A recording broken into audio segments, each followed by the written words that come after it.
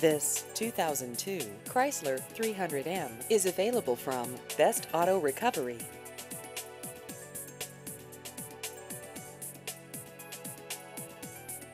This vehicle has just over 139,000 miles.